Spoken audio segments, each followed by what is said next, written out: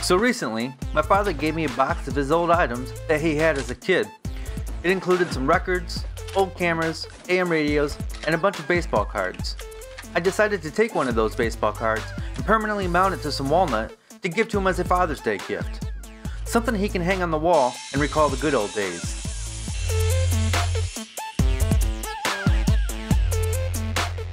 This project couldn't be any easier, as I just cut up some oversized walnut and spray mounted the card right on top.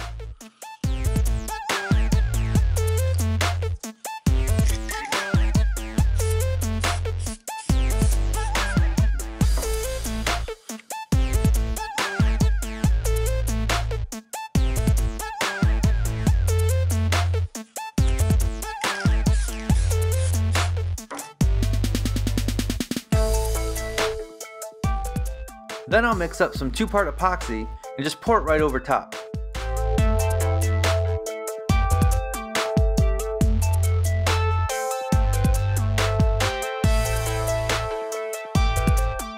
Using a heat gun, I force the air bubbles to the top.